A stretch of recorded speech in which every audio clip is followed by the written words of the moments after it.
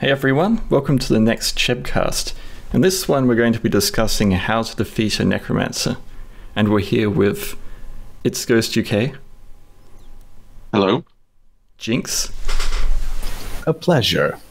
Mr. Spook, and So High for Hentai. Bibbidi bobbidi boo, I'm gonna raise you. Awesome. So to kick this off, I think we should begin with like tactics to avoid conflict because I personally think the best way to defeat a necromancer is to not let them build up steam in like the first place. So I think like if you're like a paladin society or whatever, you don't want to be having things like graveyards.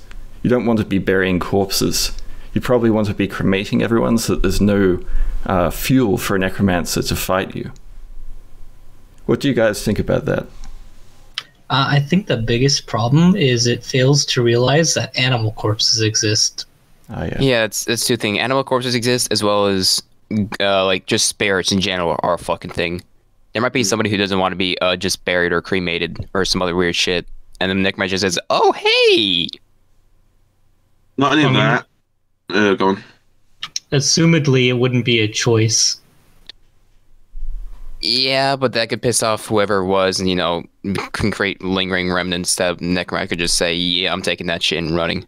I suppose it depends if if this is a society based thing. Uh, if they are actively at war with a necromancer, because if they are, then they could mandate, you know, due to the fact that you are all ammunition for this necromancer, we mandate that you have to be cremated. It's still not gonna vibe with everyone though. There's still gonna be uh, some motherfuckers who's gonna be angry about that. That's just Oh, absolutely. in general. Do you think people would like go around with corpse carts and like pay for corpses and then dispose of them properly? Bring out your dead. Bring out your dead. Yeah, exactly. I'm trying I to don't. think. I don't trust anyone who's buying the corpses. They're That's probably very a true. necromancer. Um, for the Necromancer Society I've got, I'm still working with, still developing.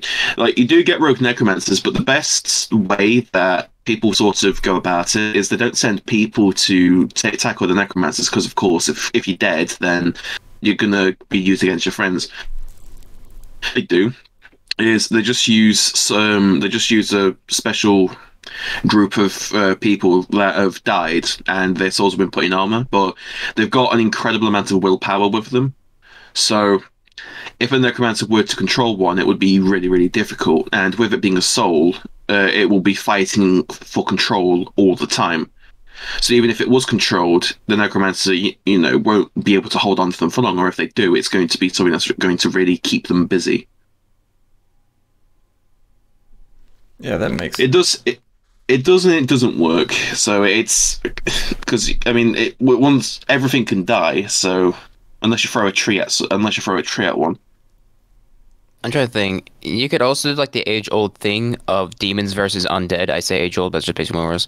Uh, um, thing, because just like demons, typically they, uh, when they die, or at least most medium, they just go back to whatever realm they are, or just turn into dust. There's literally nothing for the necromancer to use once you throw a demon at them.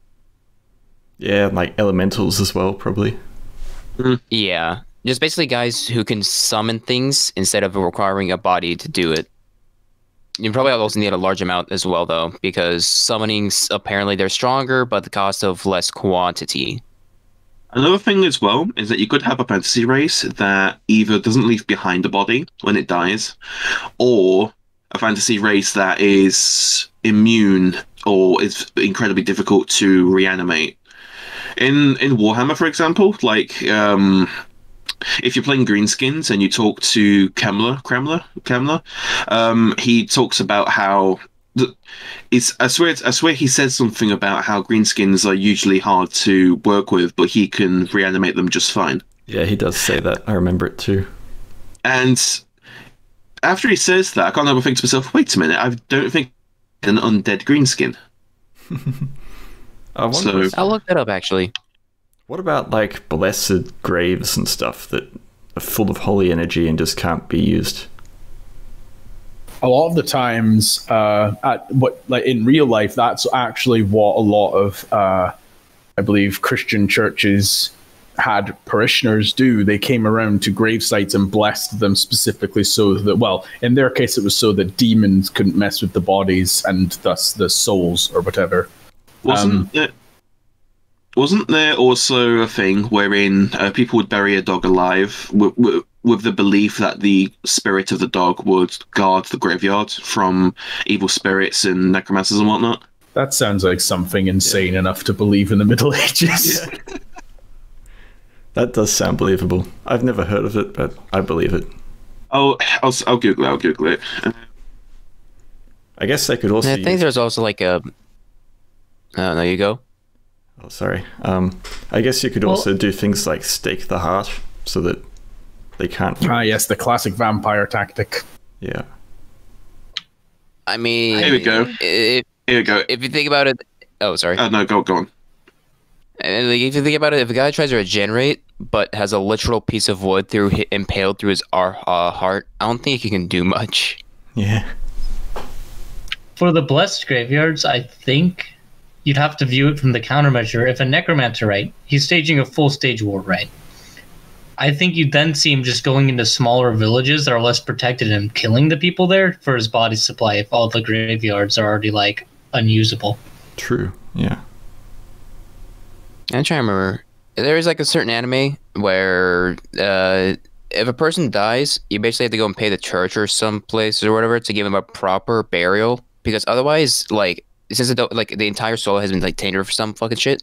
The if they die and they're not properly buried for a set number of days, they'll just rise back as a zombie. Yeah, I, I've heard of stuff like that before somewhere. Yeah. Do you Not guys? Isn't too there- sure- I was going to say when it comes to. Oh, sorry, go on. Uh, no, I was about to say I'm not just too sure of how that worked too much, but yeah. Uh, I was going to say two things. One, with how uh, like holy religious stuff, it's all about sanctifying and blessings and whatnot. Can't necromancers desanctify and blight or curse or get an area to be rife with necromantic stuff? Yeah, it's, I feel like they could. It's basically the question of uh, is a necromancer, in just all terms of strength, personally stronger than whoever blessed it in the first place? I'd say that it's more of a um, it, uh, uh, using a ne- uh, necromantic curse on, say, a graveyard. I'd say is an offensive action, uh, while as let's say some kind of priest or paladin or whatever um, protecting an area with, say, a magical rune or something. That's more of a defensive tactic. So at that point, it becomes if they kill the priest or paladin or whoever uh, then that rune then gets taken away, and then at that point, then he can place an appropriate curse upon the area. Um, and so it might just end up being that if a certain paladin loses a big war, then the situation becomes far worse because that paladin in particular was the one responsible for sanctifying all these graveyards. And then after this has happened, uh, an appropriate curse can be put upon uh, an area, and that ends up causing massive amounts of new troops for the necromancer. Something like that, I believe, actually happened in uh, Diablo 3's story um, in the Reaper of Souls expansion, where um, the antagonist of the story essentially creates a curse upon an area, upon an entire city, and it meant so that it it was essentially a giant area of effect spell that continuously raised the dead whenever they went down. So that eventually it started with just a small amount of people in the graveyards getting up, and then as they killed people, more people were added to the ranks, and then it just progressed until the city was completely taken over. I was gonna say, um, in some fantasy, when it comes to undead, like naturally appearing, it's. I mean, there was this one. There's this one anime I remember. It was like an isekai one, and I can't tell you the whole name, but it had. I think it was like Grimgar, or something like that. Yeah, that's that I was thinking of. Grimgar, Fantasy, and Ash. That's where the one there where if you die and you're not properly buried, you just go undead. Yeah, yeah. It's like, oh yeah, we, we need to. Once you die, we need to do this. We need to do the. There's that, and um, Dragon's Dogma has it where at night time undead will come out and do their stuff and then disappear during the day. What I was thinking of, could it be a case wherein the necromancer would have a designed or artificial. Well, I mean, curses are artificial, but have have a purpose towards a curse. As in, say he curses or pro, or profanes or does some ho- horrible stuff to a graveyard. Yeah. The undead could rise from it, and following a new directive given by the curse or given by whatever he's done to it, he or she has done to it, the undead could then go towards the necromancer to await further orders. Or they or they could go to a specific area and kill people, or they could linger around, or they could do this, or they could do that. Bring the resources to them. Mm. Um, yeah. So with the uh, with the thing with the ch- uh, with the church dog that's being buried, so the church grim is a guardian spirit in English and Scandinavian folklore. That does not surprise me in the slightest. That oversees the welfare of a particular Christian church and protects the churchyard from those who would profane and commit sacrilege against it. It often appears as a black dog, but is known to take the form of other animals. So in English folklore, uh, it usually takes the form of a big dog, God's churchyards, etc., etc., etc. Uh, it's a so the Grim, according to Yorkshire tradition, is also an ominous portent and is known to toil, uh, toll the church bell at midnight before a death takes place. Um, here we go. It says when a new churchyard was opened, it was believed that the first person buried there had to guard it against the devil in order to prevent a human soul from having to perform such a duty. A black dog was buried in the north part of the churchyard as a substitute. According to a related belief in Scotland, the spirit of the person most recently buried in the churchyard had to protect it until the next funeral provided a new guardian to replace him or her. This churchyard vigil was known as the Fair. Fair. I'm not even going to pronounce that. Or, or Graveyard Watch. Uh, a folk tale of the Devil's Bridge type is also an example of the motive of a dog being sacrificed in place of a, of a human being, etc., etc., etc. The Is devil. that- Is that name uh, an old Celtic name? It's well, the one I'm not The going to one, pronounce. your unpronounceable one. It's. I'm going to write it. And let me write it down. It- Yes, write, write it down. I, I, I could possibly pronounce it. Fair Veerklecht. Really? Yeah, Oh, click. to hear. A Veerklecht. Feel click. Nice. Fair clit.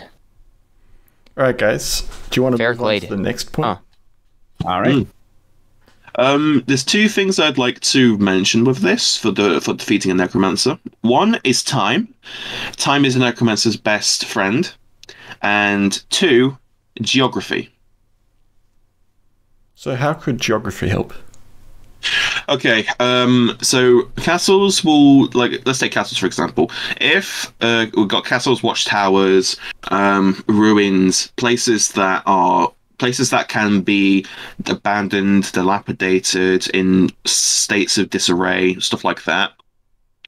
These places would be perfect bases for a necromancer to set up, and castles do tend, because of how they are, they do tend to be really good geographic positions wherein getting to them is awkward and difficult.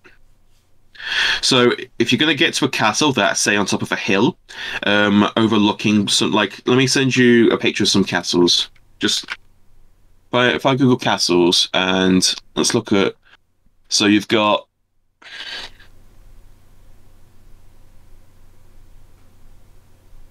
Ones like these, for example, where they the way that they will be built, they will be built in an in a position advantageous because of the geography and because of the what's around them.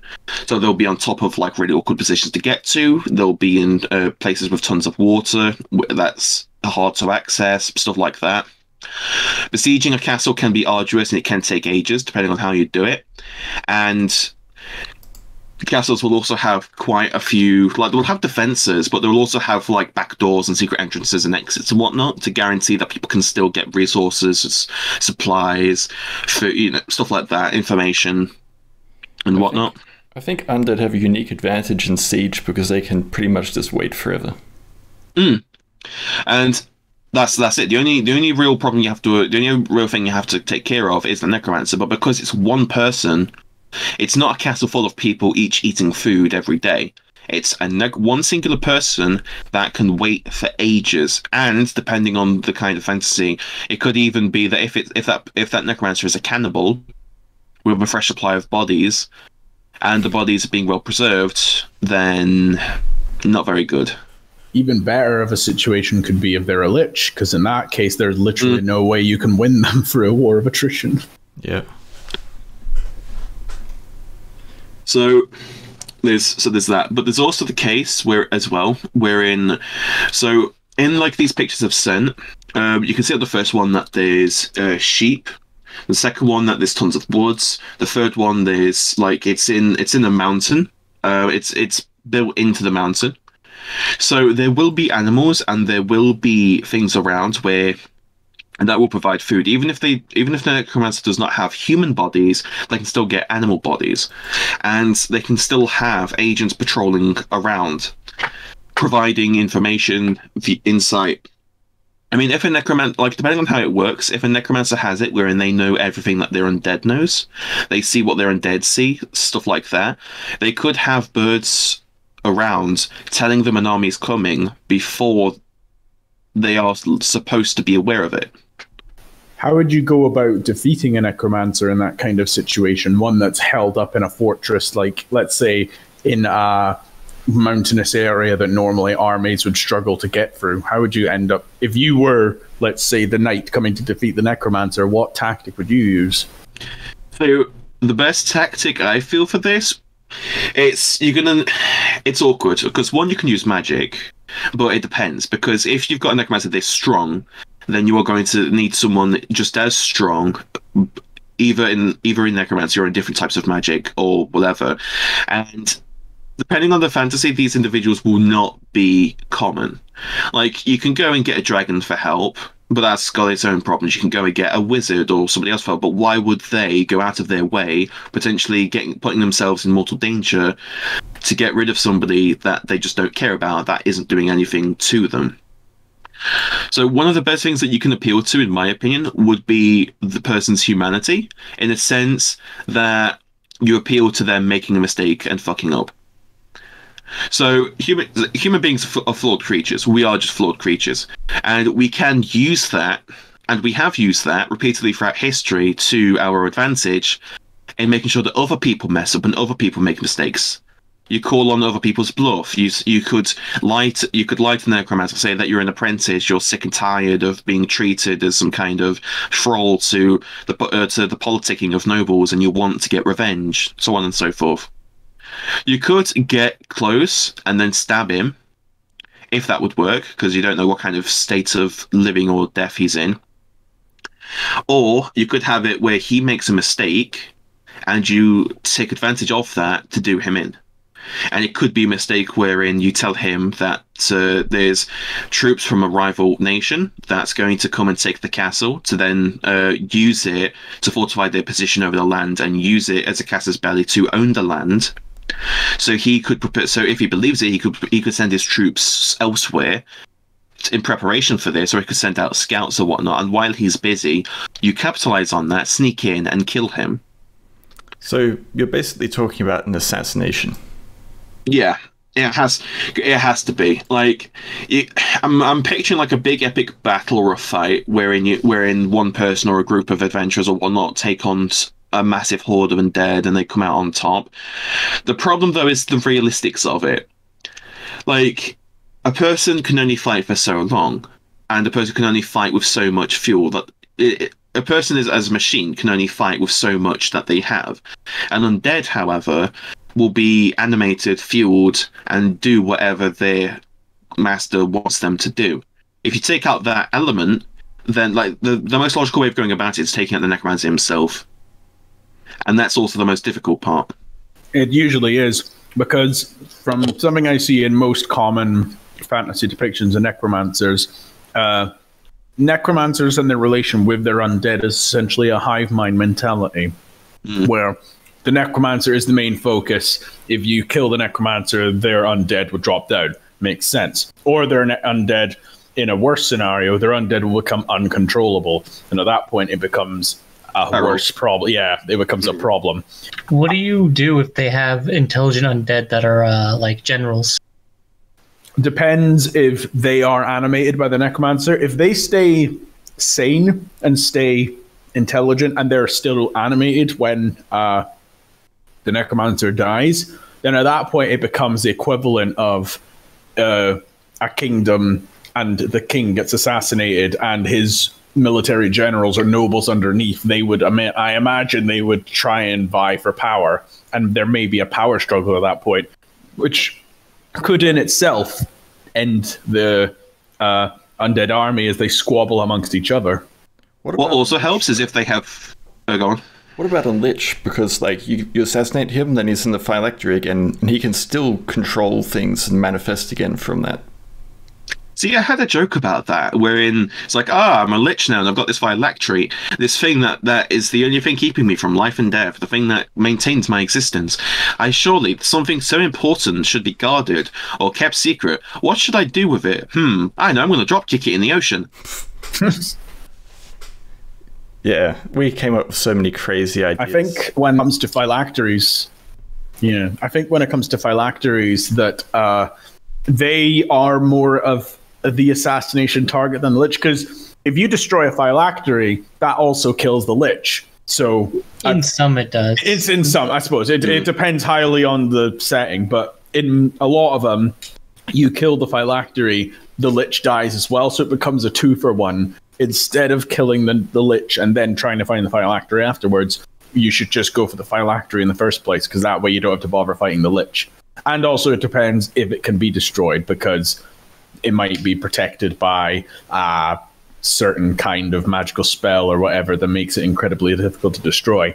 I think it comes down to the fact that uh, necromancers, by their very nature, and in most media that they're depicted in, their main um, advantage compared to all other kinds of villains or heroes or whatever is they are the masters of wars of attrition. Because uh, raising undead, usually the undead aren't as strong or as nimble or as anything as a living person would be, except in certain circumstances. But what they are is a resource that does not need to eat or sleep or drink or anything. And they can essentially wait out anything. And uh, as mentioned before, essentially when it uh, when a necromancer is starting off, they're generally a bit weaker, but when they start really ramping things up, it becomes a snowball effect because it at their core essence, a necromancer is just a person who can make dead things come back to life. So theoretically, a necromancer could just keep on raising the dead that keep dying. So a battle takes place and their skeletons all die. At that point, you could just essentially consider it no loss at all because then you could just raise the skeletons that were destroyed unless their bodies are useless. There's, there's more things to take into account with this as well, such as oh, uh, typic- I'll be quick. Uh, typically for the setting, uh, typically for the setting, like if it's medieval, the death rate will be high, which means that there's plentiful corpses. Not only that, but depending on on the kind of political situation, there can be past battlefields dotted around with some bodies that could have been forgotten that a necromancer can have. But a weakness that they also have from this is that they can be stretched too thin and they can have too many undead to effectively control. In a bureaucratic sense, how do you control that many undead with one person and know everything of every detail where every single one of them is? I mean, in Overlord, um, the prota- uh, the protagonist even says quite a few times, I think, that with all of the undead he's got made, even he can't keep track of them all, and even when he knows where they are, it kind of it's like a sort of blur. Sort of. So Well, that's where I think the strategy I would use to come in. I think guerrilla warfare is actually the best way to handle it. So what mm. you do is, of course, the necromancer is the main target. So you make a small elite unit and have them go for there. But you still have to fight the armies of the undead, or you're going to lose your land and your people and your villages. You can't just ignore the army.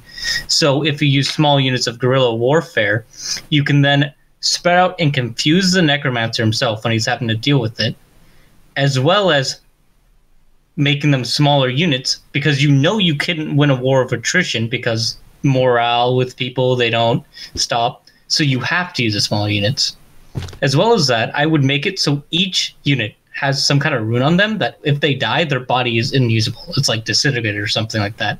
Like blessed by a paladin. Or something. Yeah, wh- whatever you need to do to prevent raising. And doing this allows you to cut off the undead because they're not most won't be unintelligent unless they have generals and even then you can just target the generals as your main target mm-hmm. I think and slowly cut them off and basically make their numbers hurt them. See, there was there was a thing that I worked on, um, kind of on the side for a bit, and I was it was I've, it was an interesting idea that I thought hadn't really been done a lot before, and it could it could be used quite uh, comically, but also effectively. And it was, it was for a story, and uh, what it was is it was the idea that holy magic, when it interacts with undead, uh, it reacts so volatilely and so violently that it causes the undead to explode. So what it was is you had um, a necromancer who had gotten a who had killed a inquisitor type person who could use holy magic or a type of it and raised him and had access to this person's magical abilities so he so the necromancer was experimenting with it and what he did was he cut off parts uh, he cut off like hands and uh, parts of the arms of whatnot of previous undead that he has. Had the magic per- uh, had the religious person cast a holy spell on it and it would cause that body part to explode. So he would use this as types of explosives but it would also but so because of the way that this works it would also mean that any parts that he would use would be he can't get back but also any undead this happens to he can't get back. Uh, I imagine that could be used quite effectively uh, to defeat an actual necromancer themselves in that situation, because at that point, large hordes of undead would essentially become living biobombs. before especially if you send a bunch of fodder too far, I'd like to come back to the the guerrilla warfare just quickly. Um, yeah if that's okay. so elves would be really good for that wouldn't they for the for the warfare, you mean? yeah yeah the guerrilla warfare Yeah. like if it's if it's in a wooded area for example What I wanted to I say think- is like if you think of it like an RTS game, right? If you've Mm-hmm. ever played StarCraft, it's really hard to keep track of everything that's going on. Like if you're Yeah.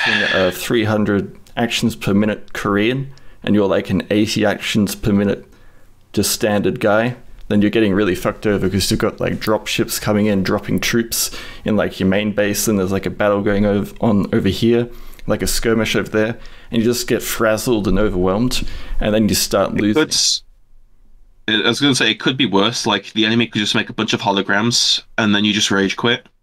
yeah. Uh, I think that's a good idea to like just overwhelm the necromancer with too many sources, and then he starts making mistakes because he would have to control everything. And I think dividing his attention Di- up, divert his control, like split his attentions. yeah, exactly. And especially when it comes to guerrilla warfare, you it's been shown in many real life examples that guerrilla warfare is one of the best ways to fight uh, an opposing force which you think you've got no way of winning. Obviously, there's the very obvious example of Vietnam with the Americans, the Vietnamese, the Viet Cong. They had some of the best Oh, uh, yeah. guerrilla warfare tactics possible because they thing- knew their environment.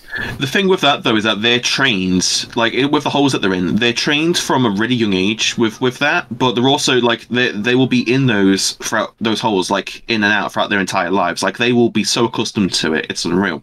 But even before you get to that extreme amounts, there guerrilla warfare in general has a massive amount of um, utility when it comes to fighting large opposing forces, even if you're not going that extreme. Like one of the best examples that I know of is actually um, during the Scottish Wars of Independence. Uh, fought by William Wallace. There's a particularly well-known battle called the Battle of Stirling Bridge, which essentially had an English uh, lord wanting to take over Stirling Castle, but in order to get to Stirling Castle, he had to cross over a narrow bridge over a river and then go up a hill that would lead him to the castle. And he had planned to do this. He marched his army across the narrow bridge in order to get there.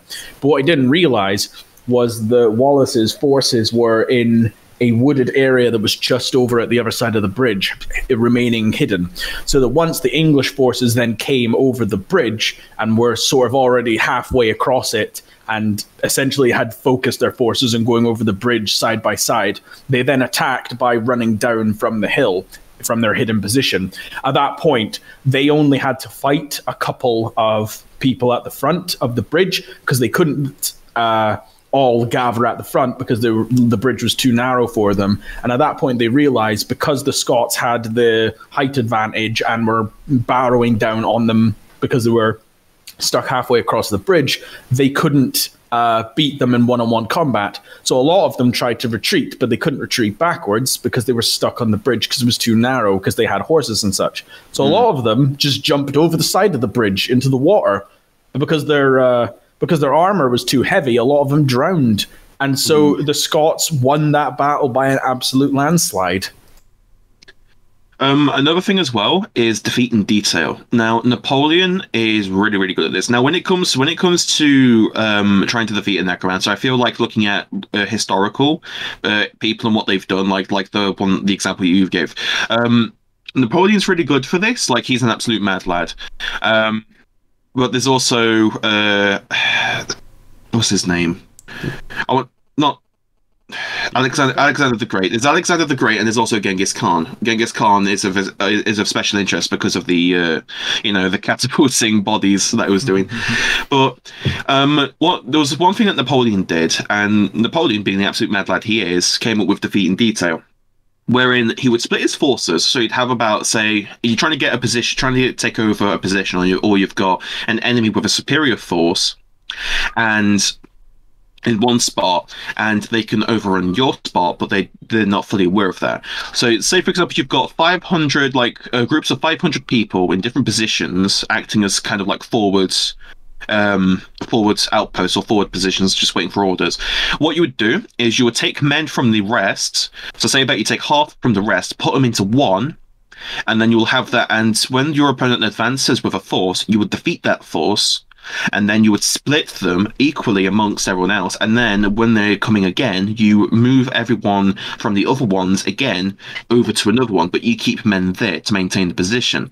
The thing with this, though, is it requires an incredible amount of communication, planning, and you need to be able to get everyone from these positions over to other positions at a really, really quickly.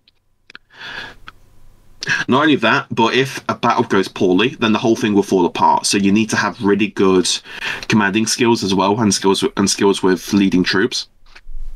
And if you're and if you've got a necromancer who cares very little for his minions, who will happily send them into into you know like in to die, or you'll have a leader that, or you'll have a necromancer that is inexperienced.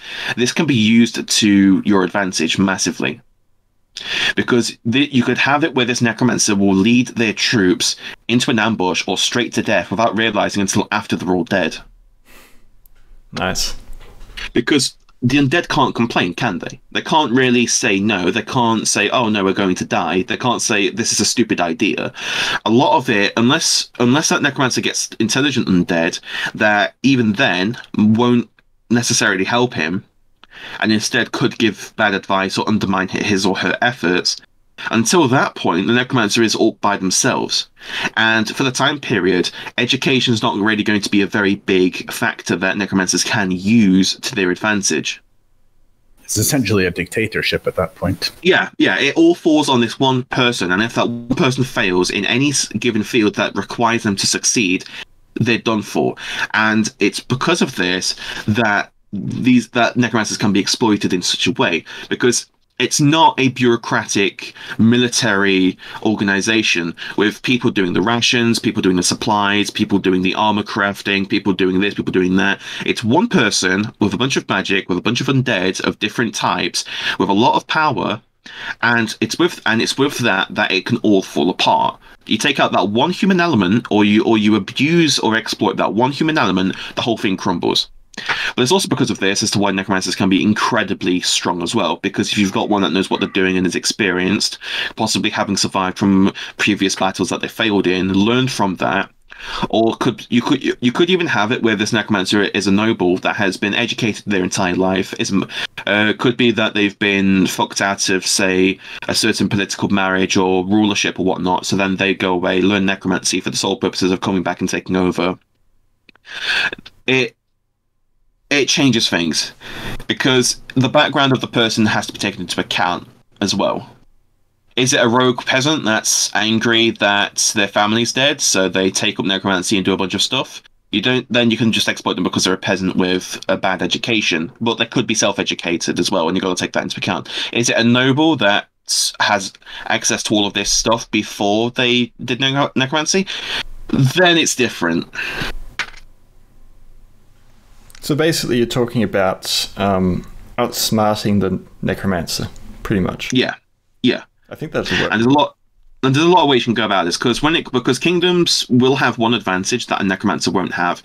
And you will see this with a lot of stuff as well and this is something that is really important that not a lot of people talk about is kingdoms have how do i word it? They've got a military complex right there will be soldiers there will be generals toledo soldiers there will be training there will be things in place to have an entire military structure. It will be like a pyramid or it will be a uh, it will have strength an architecture and framework to it. It will be developed.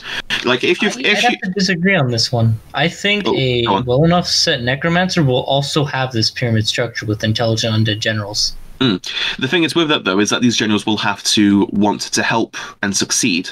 Not all of them do Yeah, but assumedly assumedly there there could be a necromancer that has generals that want to help, or Oh, being absolutely. enthralled by the necromancer makes you not be able to act against him. So Hmm. they inherently have to, and they can't not act in best interest. It could even be it could even be a somewhat benevolent necromancer that makes deals instead of forcing intelligent undead to do work for him. So it could be that if you do this for me, I'll do this for you. Like because obviously you've not moved on into the afterlife. Like there's something that you're going to be staying for. So you do this for me, and I will help you settle your grievances and move on. Or it could be that the intelligent undead want to stay like existing because they Mm. probably have some source of self-realization being intelligent. So it inherently makes sense. So I don't like the necromancer, but if I lose here, I die.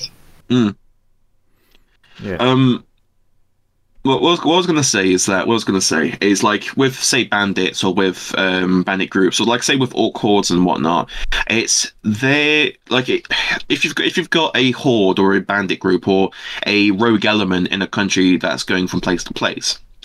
They don't have what normal militaries and nations have. Nations will be sending supplies to their troops. They will be sending weapons, armor. They will be outfitting and looking after their troops a lot. Like there's like it's a big investment to have a to have soldiers in whatever place because you will still have to look after them in the place that they're at. So there's a lot of stuff to take into account with this. But with um say with an so you got orcs doing raid but if if an if if a necromancer or a bandit group or an orc group or whatever lose a big battle, they don't have that same luxury. They don't have um, supplies going to them. Their supplies are strictly limited to what they can take and what they can raid. If they lose one battle, then they have to go to another place while uh, damaged, while with lesser numbers, and they will have to raid it or do another battle in order to take stuff that could do them in. They will have to constantly do this over and over and over, and it will only work so long as they keep as long as they keep winning. When when one big defeat could signal their entire loss, because uh, the whole thing could fall apart, and they could go against a defended, albeit weak, uh, not uh, town that could potentially win against them, because you know they've suffered heavy casualties and whatnot. What about uh, what about necromancer versus necromancer situations? Ooh. I mean, that is That- the ultimate counter. Isn't it just? yeah that that would be sort of i feel like if anything that quickly becomes an rts in real life hmm. just constantly spawning minions. yeah I mean, if it's a more powerful necromancer, that necromancer basically sweeps, and if it's weaker, then he causes chaos in the ranks by taking over undead in there. Mm. there's Yeah. also there's also something as well is you could have a big scrap between two necromancers throwing bodies at one another but what you could also have is you could have a spirit that is that is being given orders to go to the other necromancer um, to appear very you know innocent or naive and whatnot is then enslaved and at the right moment could break through their slavery and follow the original necromancer's orders and kill the necromancer that's following you know following their orders Essentially acting as a double agent. yeah yeah yeah or a spy or or something to kind of like if you've got a necromancer that is so that has so many undead that it's hard to keep track of what's one more undead that to the mix. Like say for example, I mean, say for example that you send in a zombie or a skeleton that to act as a spy. How can a necromancer tell this one apart from the rest? Oh, I mean, I think it would entirely depend on the scen- the fantasy setting. Mm, it does, and and how the magic is used and all of that. Like it could work, and although the, one of the best ways to do this could be with spirits or ghosts because they can go through walls and they can properly proper spy. It's basically an I mean, if I was an undead who had a spirit just come to me and it was like, I want to join you, I'd be like, okay, but I'd have you go to the front lines because I don't know who you are and don't trust you.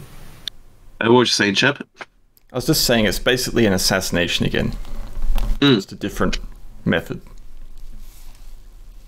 What about uh, conventional warfare tactics of using siege equipment and such? Because I imagine uh, against the undead, siege equipment would be pretty useful, considering that I don't imagine, unless they are also using siege equipment, of course, that a lot of undead wouldn't be able to utilize siege weapons such as trebuchets, catapults, things like that. Because then at that point, you're thinning out the army as it makes its way towards you. I think it's great. Yeah. I think That's- the problem is, is because it's so immobile, you're going to get swarmed.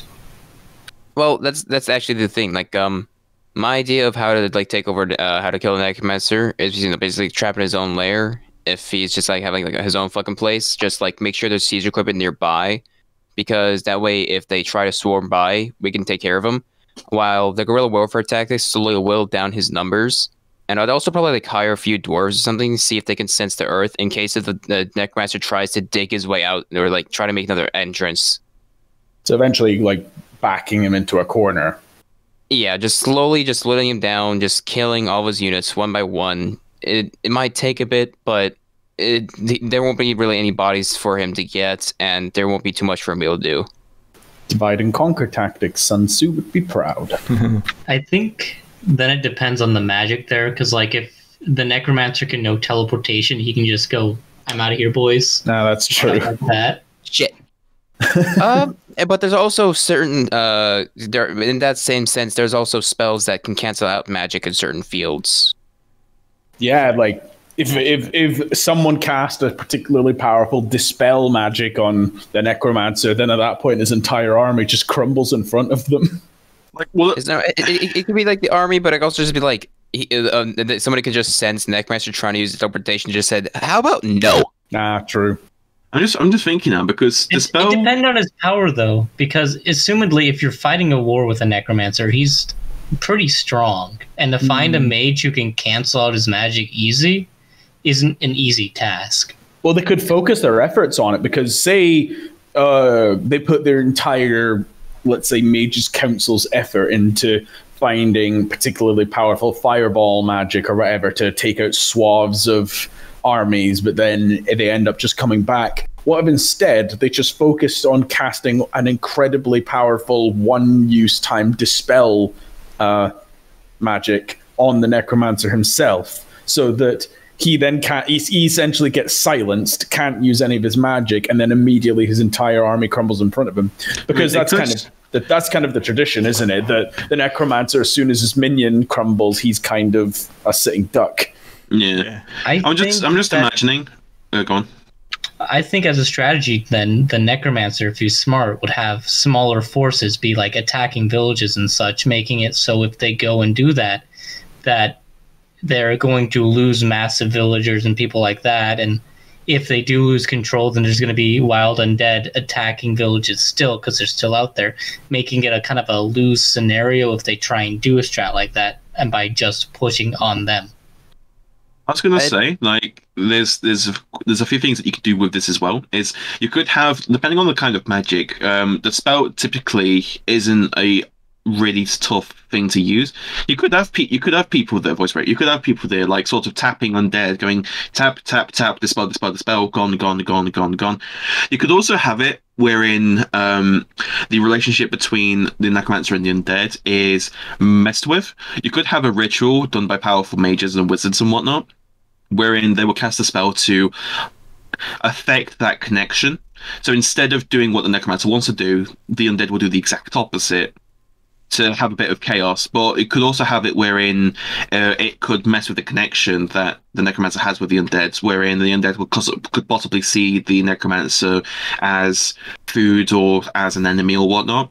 Or it could have it wherein he can't control them, so they just do random things. It could be that they're just meandering around. Some of them are really aggressive, some of them are just sort of inert and inactive.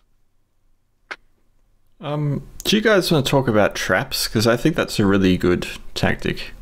Uh, Yeah, sure. Check out one or two other things. Um, oh, I'm, I'm just like looking around. Um, I'm checking out uh from like the D and D five E thing. Uh, just for like one of the uh sources.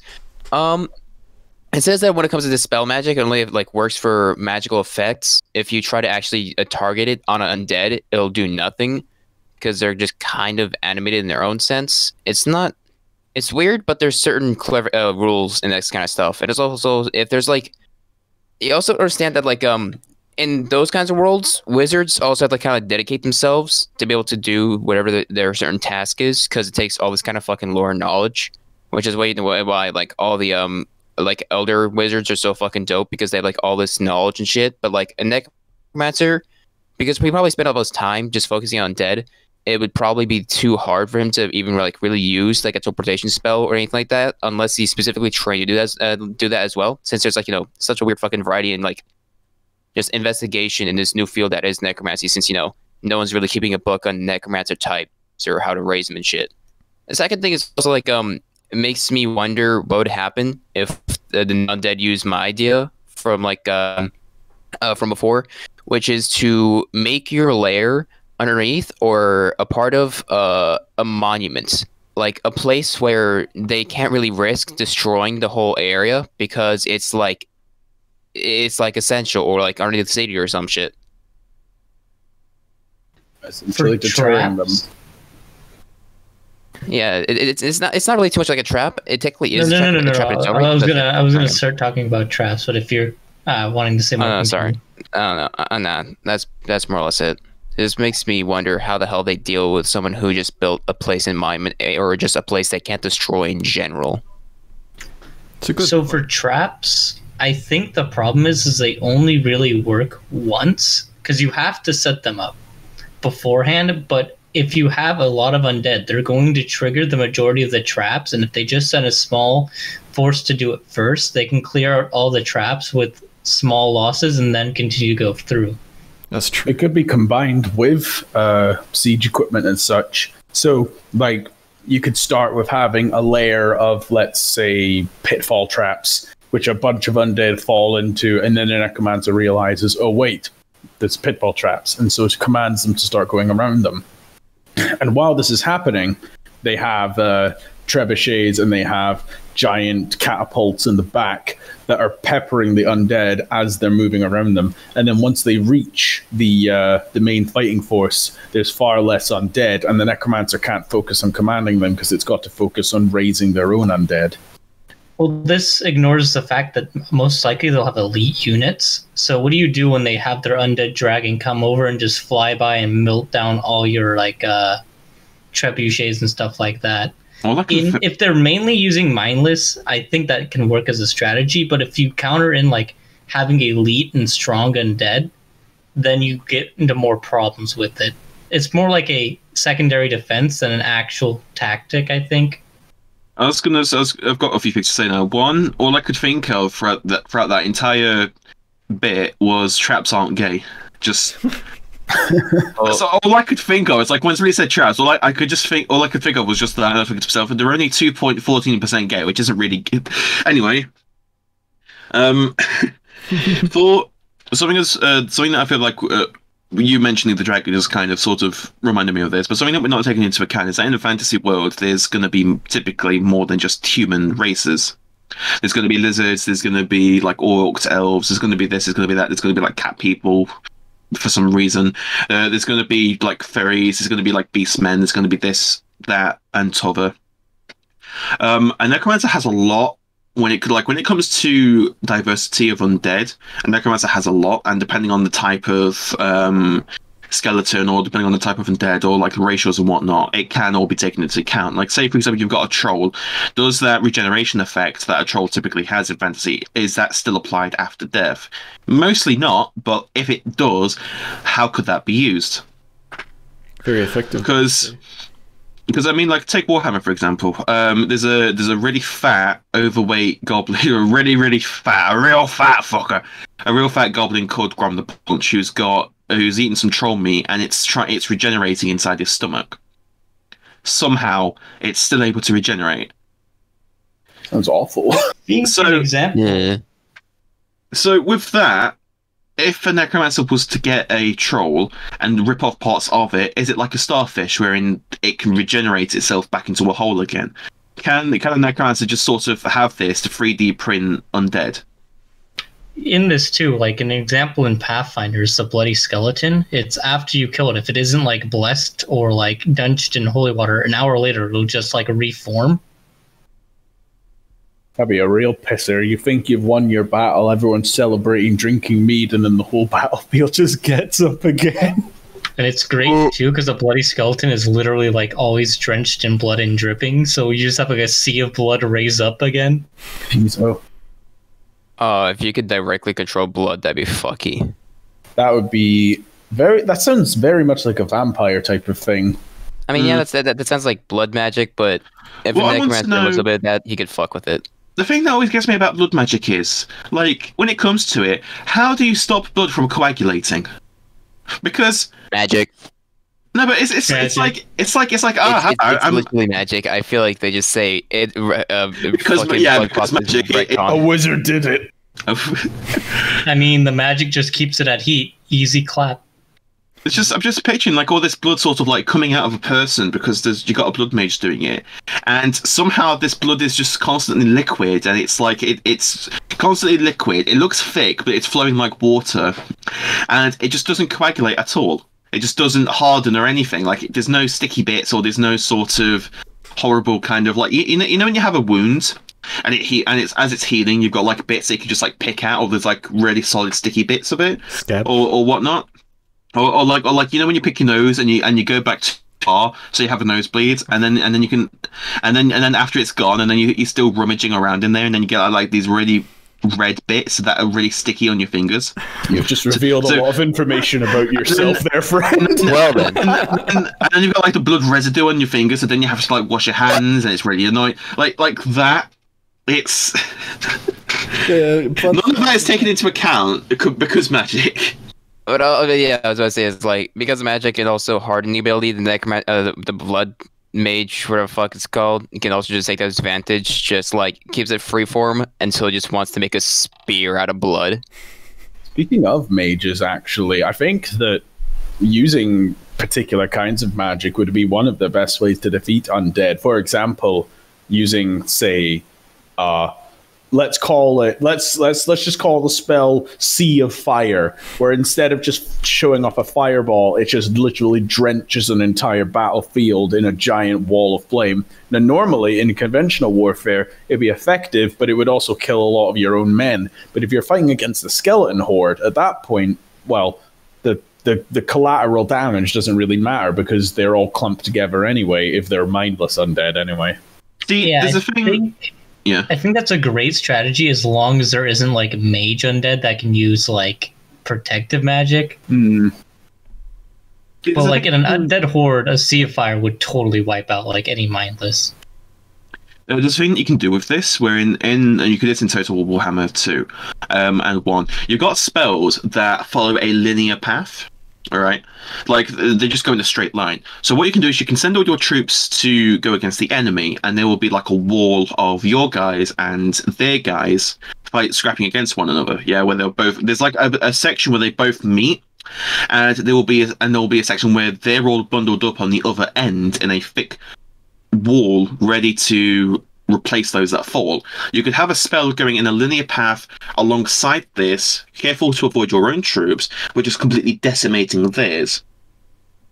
You could even use uh, in some fantasy settings uh, you could use dedicated damaging holy magic because obviously the the thing with damaging holy magic is it works on undead but it doesn't work on the living so at that point then it's literally you can do as much collateral damage as you want because your guys aren't going to be hit by any kind of say sunfire spells or something because that's only going to hurt the undead Yeah, and it might even heal the troops, the, the living. ones. exactly Yeah.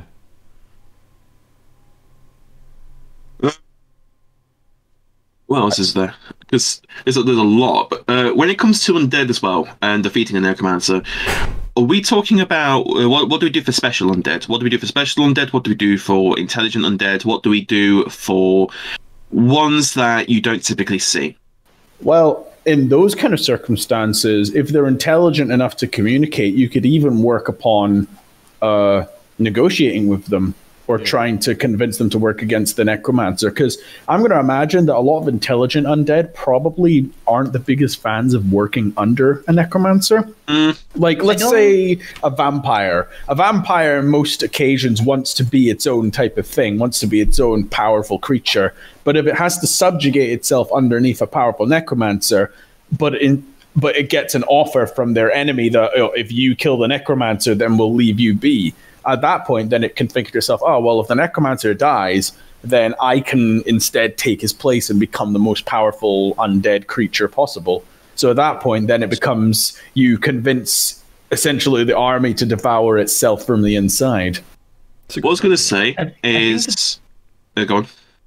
I was gonna say real quick. I think the biggest problem with that is in most media with like necromancers, when they have intelligent undead, they're still enslaved, so they can't act against their masters. So trying to convince them otherwise wouldn't work. Mm. It's kind of like if the vampire wanted to kill his master already, he doesn't need to be convinced by someone to try it. That's true. It might work against like a vampire society though. Like if hmm.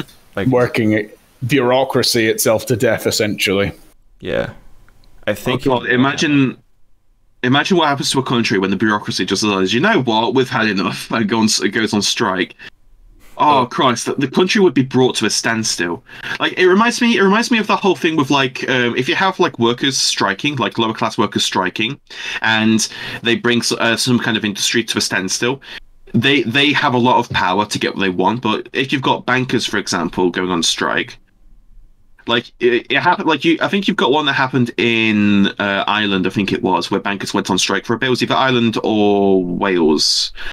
Shows shows shows shows, uh, shows my uh, information um shows, shows my knowledge of of yeah of the uk um and bankers went on strike for a long while and in the end they had to give in because nobody was meeting their demands because there wasn't a lot of leverage that they had with that like they just got other bankers in to fill the roles, and the, and if they didn't, then they just I mean the bankers just go to a different bank. Unless you've also got ATMs. Um,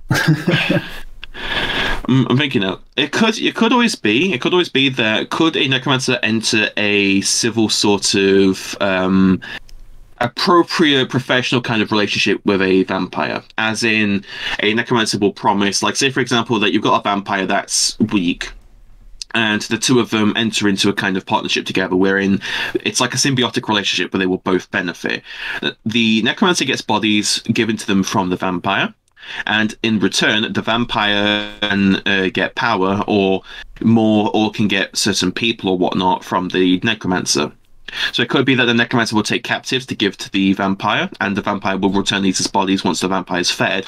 Or it could be that the uh, the vampire will provide bodies, and in return, the necromancer researches how to improve the vampire's state of affairs. So, say for example, like you know how you've got different types of vampires. Like you'll have really weak ones, you'll have feral ones, you'll have uh, lower class ones, you'll have like upper class, like pure blood ones and whatnot. Um, could be that a vampire wants to reach a higher state of undeath that the necromancer can provide. I'm pretty sure that's what happened in Warhammer Fantasy with uh, Nagash and the Von Carsteins. That they Oh. basically uh, decided to, well, when Nagash that they essentially decided to join forces for the sake of we're both fighting a common enemy. Let's fight the common enemy together, and it'll both benefit us. But then, of course, as Nagash tends to do, Nagash tended to betray people. So, funnily enough, he betrayed the vampires. Well, why why does Nagash like was it was he hurt when he was young? Was he betrayed when he was younger? Has that scarred him for life? Why does he keep doing that? Oh, because Edge. Fair enough. Yeah, I was about to Like- say, why doesn't the There's Gesh anything to do with that? Uh, isn't he like the original Edge Lord in the fucking Warhammer universe? I know he's one of them. Oh yeah. The original Edge Lord. I, I, I would be surp- I would not be surprised if we found a deep dark diary like the Codex Astartes. They just come over. They feel like, oh shit, we found Nagash's diary. We'll find all of his. We're gonna know all of his secrets, know his plans, and just like it's just fucking Linkin Parks just scribbled down. Betty left me today. I didn't like her anyway. Girls so Carmelo, Carmelo, fucking lemon. Mark had the I'm just better friend that. she'll ever be. I'm just picturing that. It's like you got like Coldplay lyrics just written down. Just like, oh, f- imagine in the diary as well. It just goes on like, "Mother did not provide me with tendies today. Mother did. Mother, mother did not do this for me today. My angst, my pain, my suffering. Nobody knows what I'm going through." What about I um, dropped a penny on my foot. The immense pain I felt suffers like a thousand burnings nails being put into my feet. My hmm. soles were quivering and my soul ached. I had never known that there was this kind of pain before in my life, but I shall now inflict upon others. That sounds well. That was way too well done. Have you got experience in this? um. So, coming back to fighting against undead, uh, something that I have always wondered about is one of the big problems when it comes to fantasy warfare, especially when it comes to necromancy warfare, is undead versus constructs or golems. Because Uh, yeah. essentially a golems and and especially like let's say dwarven machinery are essentially superior in every single way Mm. um but, but Arguably, they're- demons are, but demons you have the risk of you know losing your soul and all of that. i think uh, uh, against demons i think the problem with demons is that because you're not the the, the master of essentially you're just essentially hiring them on assistance uh they can't really be trusted Yeah. But for golems, uh, they can't be reanimated because they're usually made of synthetic materials. Mm. Uh, they're generally much stronger than any other undead that you'll fight against, and a lot of them are tied to specific elements. So, like, well, let's take uh, the Elder Scrolls for example. Fire Atronachs are literal embodiments of flame. They could just walk into a battlefield and fight undead, and at that point, all the undead are on fire and spreading fire to each other. Isn't that a demon? Atronachs are a Uh, yeah, I, I don't know. They're, they're summons. I'm yeah, but they're demons because they come from uh what's Yeah, they come. F- they come from a plane of, of blue. It's Atronachs are like Dramo- uh, are Dremora, I think. yeah think.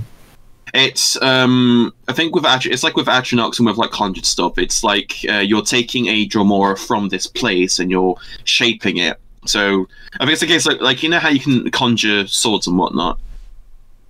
It's Yeah. well, yeah. What you can what you can do is you can uh, like the swords that you conjure. I think if I'm remembering the lore correctly, I'm probably going to get somebody spamming the comments uh, after after saying this because I don't know the lore correctly. But I think for the lore, it's the case where the uh, like dr- the souls of Dremora are basically shaped into weapons and whatnot. So it's like this weapon that you're holding could very well be intelligent and really annoyed that you're just using it to stab someone. Yeah. But um, Yeah. I was gonna say, so for golems, the biggest problem with golems is they're expensive to make. So Hmm. you can't make as many as an undead can be made because you need the resources, the mages to make it, and the time it takes to make one. While the necromancer has the advantage of bodies are easy to get, easy to raise, easy to dish out. see, see, with my with my uh, with my world, when it comes to golems, they are incredibly effective against undead. But interestingly, like it's not them being made that's the problem. The problem is public opinion of them. It's because of what they were inspired by and what people associate them with that people don't like them. So. Think- oh. So event- like eventually they do get used against undead and they do perform very very well alongside other stuff as well. Um, but it's it's the reasons yeah How how do you think golems would fare against giant undead constructs? about to say. Uh, I It depends. It depends on what the golem is being used for. Because like I've like I've been thinking a lot recently of golems uh, having uh, being designed for special purposes. Like you can have big lumbering um, idiots just sort of like smashing big stone fists against you know undead and constructs and whatnot. But what you could do is you could literally build golems to be walking siege weapons. You could have ballistas or trebuchets or catapults built into them as part of their design. I I mean- a, I mean, if you if you have it more modern, you could have like anti-air guns built into them as well.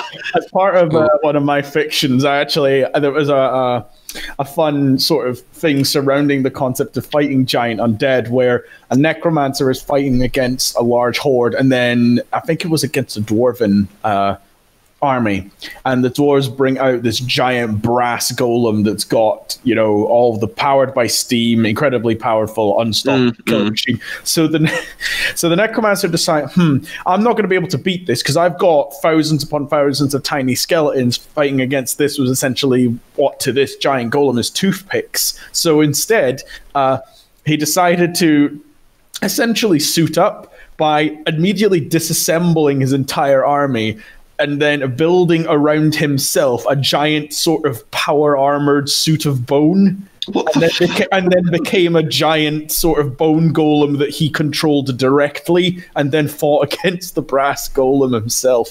And it was quite effective. Have you got You know, I nobody ever talks about Iron Man's edgy teenage any edgy teenage years, do they? have you guys No? ever seen No. like an elephant versus a car or something? Like the car gets completely obliterated. that would be terrifying if it was undead Yeah, that's what I'm thinking. So, like, I'm pretty sure, especially if the golem is hollow, a big fleshy monstrosity could actually crush a golem quite easily. You got me thinking of undead cars now. I also I feel like one of the other things about golems is I feel like you have to control them a lot more directly because even undead, mindless as they are, they used to have a brain. They have like rather simple cognizance. Once you raise them, they pretty much know how to stand up by themselves. Golems, you kind of have to program everything into them, and you basically like uh, you have to like have a, a lot of direct control over them because they're they're literally lumps of stone you're commanding to go walk around. There's a chance a motherfucker can just trip up and not know how to get up. Oh god, I've got a terrible joke now. Is it like a stone version of Humpty Dumpty? No, it's Toyota's brand new car, the Dedus. We guarantee that every single Dedus is fueled is fueled by the indentured souls of of employees that we work to death. dear Sounds about right. Yeah. Um. With okay, so with golems and with like constructs and whatnot, I feel like because because of how com- like how warfare is in the sense that it's warfare in a lot of ways is kind of like I counter I counter this or I counter I counter your counter well I counter your counter this counter with my counter. It goes on like that a bit. Like you'll have it like you'll have uh, oh you've got cavalry we'll just have spears oh you've got armor armor piercing oh you've oh you've you've you've got archers well uh I've got guns oh you oh you've got guns? Oh, um uh more, GG, more, gu- more guns more guns. Think when it comes to counter uh, methodology, necromancers I feel are more along the lines of horde mentality, where Mm. even if anyone has counters to them, if they throw enough bodies at it, then uh, they will eventually win regardless. And that's just how they are. They don't rely upon specific counter. Well, maybe it depends on the necromancer, of course. But a lot of them, because they have such large armies, they instead just think, well, if I throw enough skeletons at them, they'll eventually lose. I suppose it's like uh, in uh, Warhammer 2, um, one of the advantages of playing as the vampire counts is your ability to have uh, an ability that reduces the upkeep on skeletal warriors yes yeah to zero. And at that Yeah. point, uh, if you then just recruit a whole bunch of lords and heroes and just fill up their entire armies with skeletons, Mm. no matter what, um, because you have basically no upkeep, you can essentially just throw entire armies of fodder at the enemy, and you eventually you'll win because they just can't. They don't have time to heal themselves. They don't have time to fight back. They just essentially kept getting pestered until eventually they lost. There's there's a I YouTuber mean- there's a YouTuber called Legend Total War that actually talks about that, and I think I think it's like one of the top ten uh, videos that he did, wherein like you, you just need to you just need to have like if you've just got armies and armies and armies of undead, and you, you can just keep throwing and throwing and throwing, you will win no matter what, just through attrition alone. Just just keep launching them and just throwing them, and then job done. I think that's the scary part about necromancers. Is they're not forced only into that large thing. They could make a small lead a unit as well, and they could have the both of best of those both worlds. They could even have an elite squad of, like, say, performing assassination missions or something by having, uh, I don't know, let's say that there was a legendary thief that was dead and now he's taken his soul and he's now planted that soul within uh, a, a particular undead construct. And now that that particularly powerful and cunning thief can then lead an elite squadron into a castle or something while um, the actual fighting force is fighting outside. And then at that point, it becomes, oh, well, the opposite of what we suggested, where we suggested guerrilla warfare takes out a necromancer. And in this case, the necromancer is sending a guerrilla warfare squadron to essentially take out, well, eh, eh, the head of the army that they're facing against. Um, two things. One, it's to give to give an example of this. Like, it's not a full example, but in Skyrim, you can get the in the Dark Brotherhood, you can get the ghost of a long dead assassin, who will talk to you and can provide help, and like you can summon him and he will uh, fight for you and whatnot. And the other thing, I'm trying to remember what the other thing was now. Oh, my mind's just gone. Fuck's sake. Lucien Lachance. Although shame he was quite useless in the game, but still was nice to see him again. I love Yeah, it was nice to having just summon a ghost and just hear him actually talk instead of you know just nothing. Eventually dispel it because his talking becomes repetitive. Hey guys, can I Mhm. ask a question about um, environmental warfare? Because I'm quite curious about Yeah, sure. this one. So like, Okay, so with environmental warfare, so to take okay, so you got to take into account that the environment will um, affect the living more than the dead, of course. Now, undead are much better. Now, I, I say that, and I know what you're going to say when it comes to temperature, but hold on. Undead are much better in colder climates than they are in warmer or hotter climates. Now, something that people don't take into account is the spread of diseases through flies. In hotter places, undead will be absolute hotspots riddled with flies, maggots, all kinds of stuff. These these flies can carry diseases that can that can affect the living. If you've got uh, somebody, or if the necromancer can somehow control or have something to do with the flies, you could actually have swarms of them infecting people with uh, pestilent diseases through this. So in hotter areas, necromancers have a problem with uh, the rotting of their undead being faster, but they can still get skeletons. And I think that in most settings, anyway, that undead don't rot past their initial like zombie stages because of the magic. And while you Yeah. definitely have variants like plague zombies, where it's like intentional, I don't think anything like insects and stuff like that would actually start rotting the zombies. Probably because of like that negative energy killing the bugs trying to eat them. hmm, true. Yeah, that's that's one of the things I usually th- have to think about like this. Certain things. It usually depends on the setting, but once an undead is created, no matter what his environment is, his he usually doesn't change physically unless he has like such uh, stuff from battle or some shit. Beyond that, the dead just stays as when he was first revived. But you can probably still find ways to fuck with it. Do you think like animals in general can help at all? No, no animals will only hurt Vultures. you. Vultures. You can no no no because they can kill them and then just raise the vultures. fuck. I You mean, give you, them more you do get, Animals, Why would you? get Why would you? you do get vultures. vultures? You do no, you do get them in Tomb Kings. Like they have like undead vultures. They Oh. are like useless. Dude, Yeah, that's what I'm saying. Until like- you remember that if you make it a disease carrying vulture, like make it a plague vulture and have it just scratch and give diseases to everyone. How about uh, how about a against the mix? Okay, How about- okay. So Uh, How about it gives it, it gives diseases, but it also fucking explodes upon death that spreads Yeah, why not? even farther.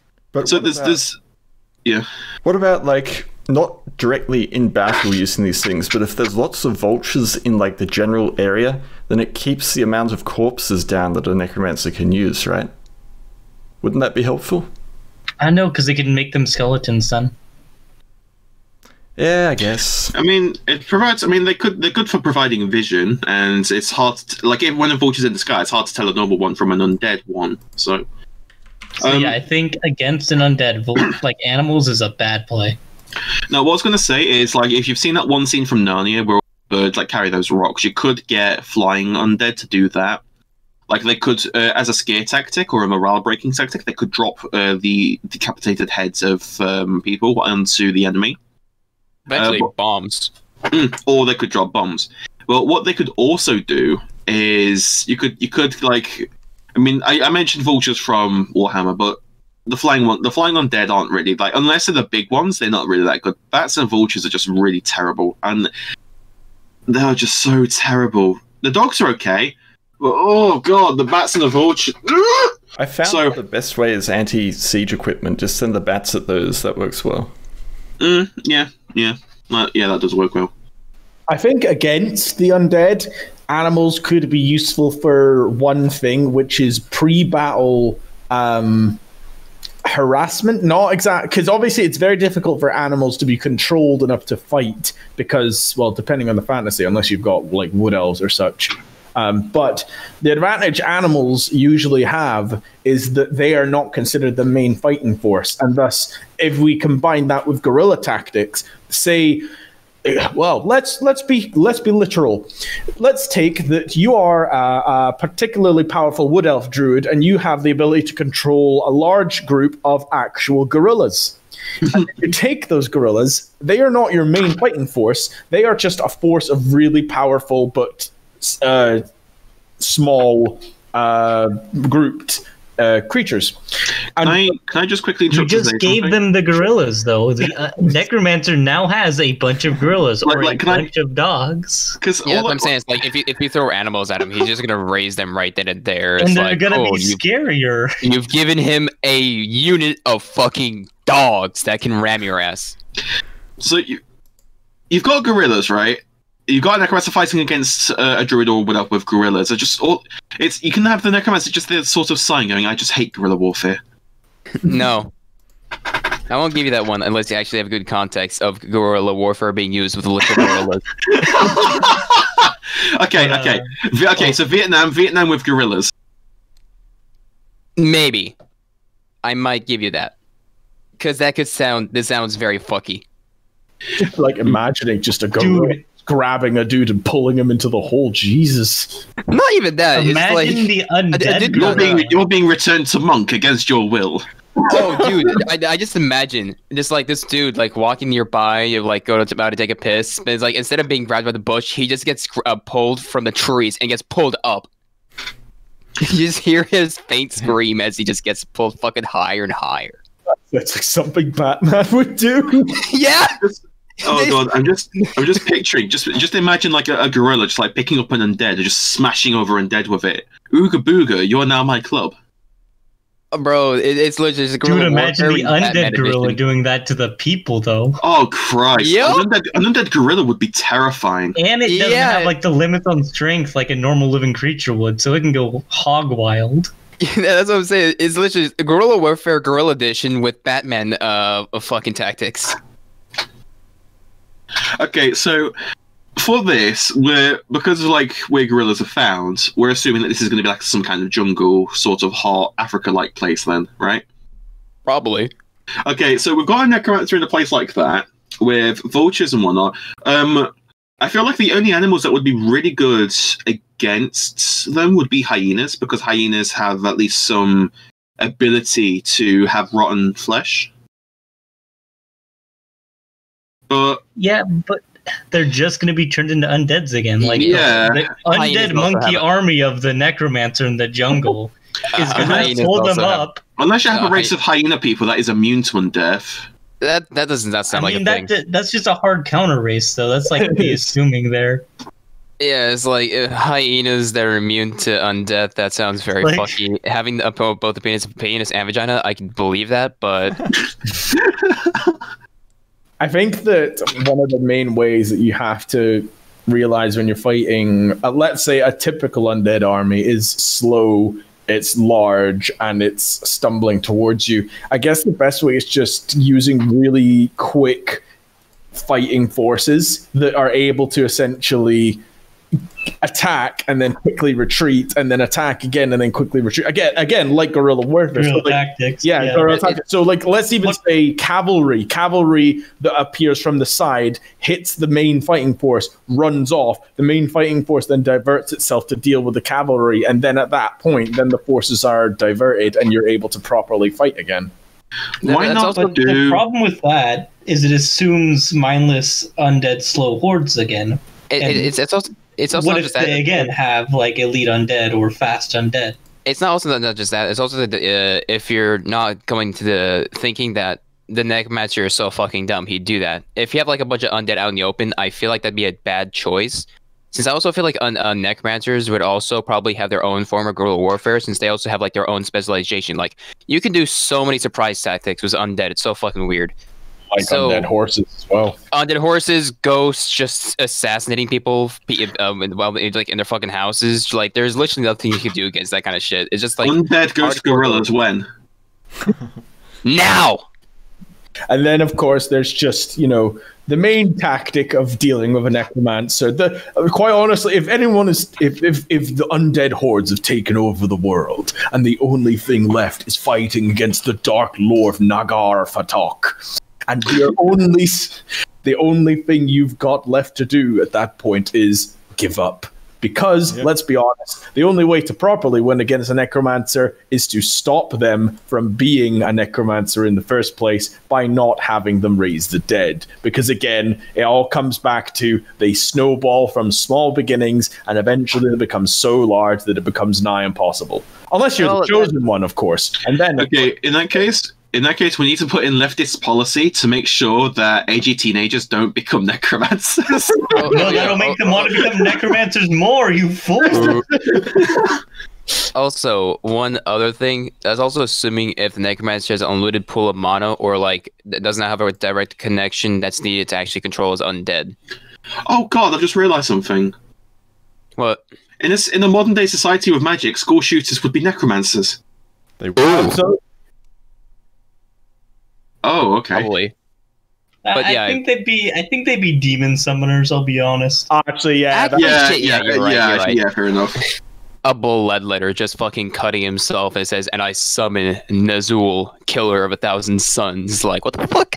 necromancers are far more intuned and intelligent for those kind of thinkings instead The of one the type of dude. class Oh, no, like, please, uh, oh, please, yeah, give that's me- the demon oh, God. summoner. Oh god, I'm just thinking of necromancers being incels now. No, no, no, no. No, wait a minute, wait a minute. Of course they would be. It- it- depressing goths versus hardcore edge lords. That's basically what the Oh. fight just boils Yeah. down to. No, I'm just imagining it like, oh, uh, every every girl doesn't like me, and it's not my fault. So I'm, I'm just gonna I'm just gonna make my own girlfriend from from Oh. like graveyards. No, no. Oh. I was also about to say something else. Fuck, was it? Oh yeah, there's also might just be a unit limit to the uh, troops themselves, but again, that still does uh, rely on the setting. I gonna- I mean, What would the- what would the limit even be? it.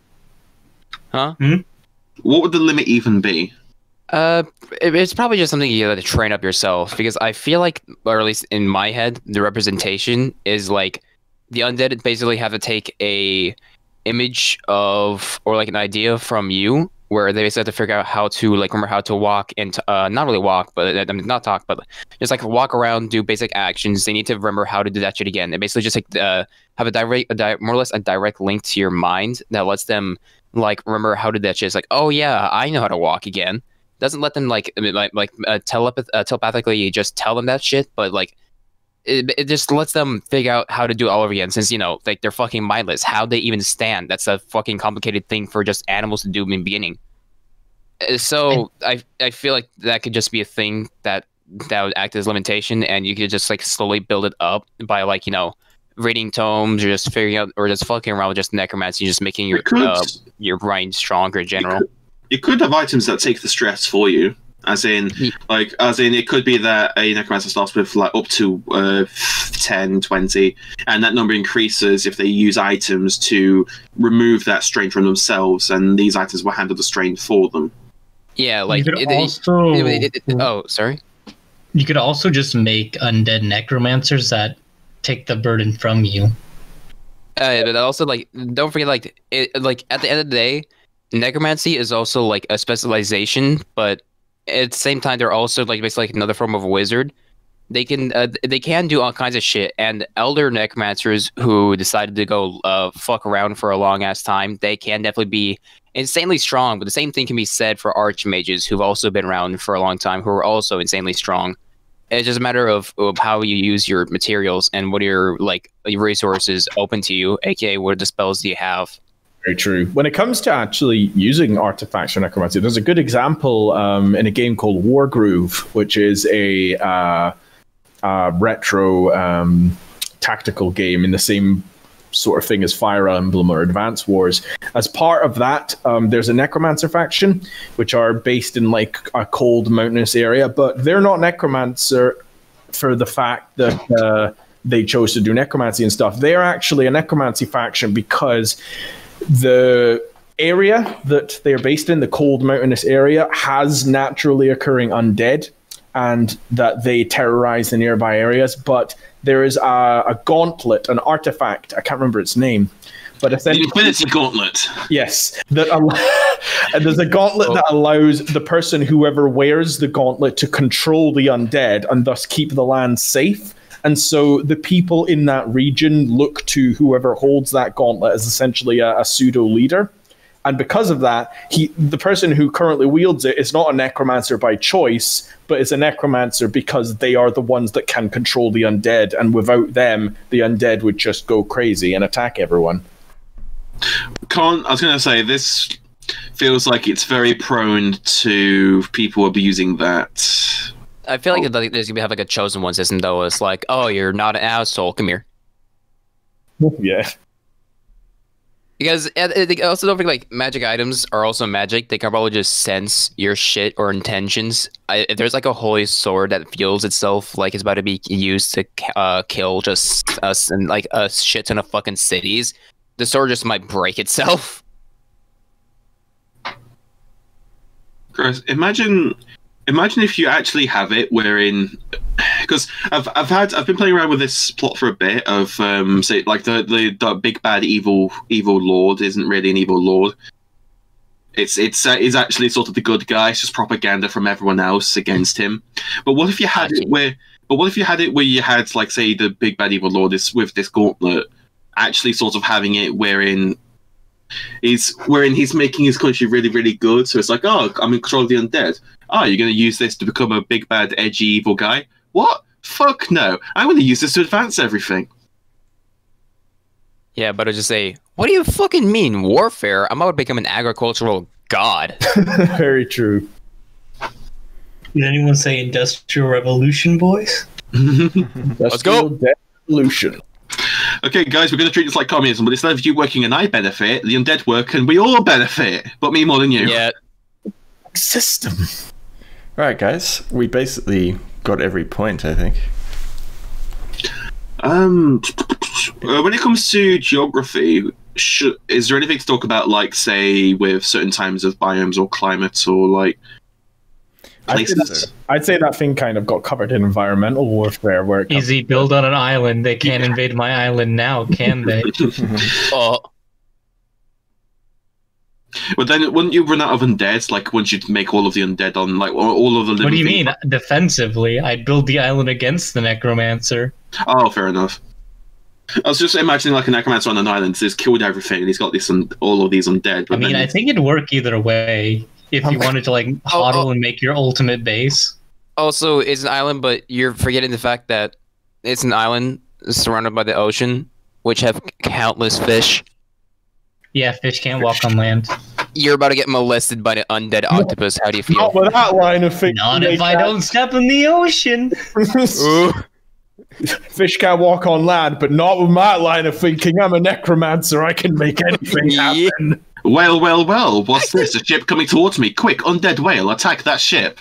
no, no. I was Actually, thinking, I was thinking more along the lines of, "Oh, you think you could defeat me? Unleash the walking sharks!" Oh shit! I'm just Oh, Release the the Kraken like is- abominations made from multiple creatures, necromancy. Always Oh, great. this is going like the fucking pirate faction in Warhammer, the fucking vampire counts pirates. Forgot their name, but that's reminding me of that. But also, it's just like imagine just like release the Kraken. They're like, the fuck you meet? Oh no, no.